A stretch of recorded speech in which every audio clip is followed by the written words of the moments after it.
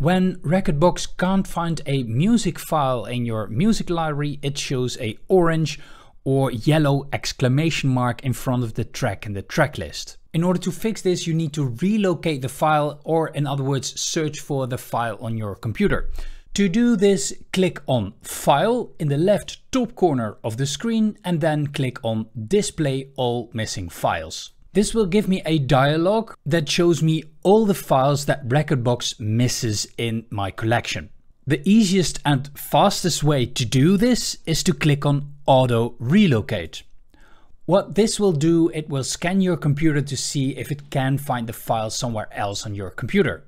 This works sometimes, but like you will see over here, it doesn't work. And this has everything to do with the fact that I renamed the files on my hard drive.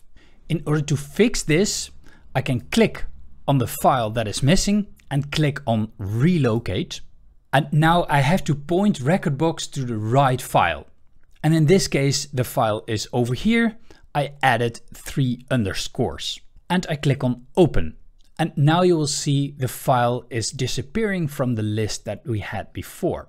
And also here the exclamation mark is gone. I have to do this for every single file that is missing. And I click on open. And I click on OK to close this dialog.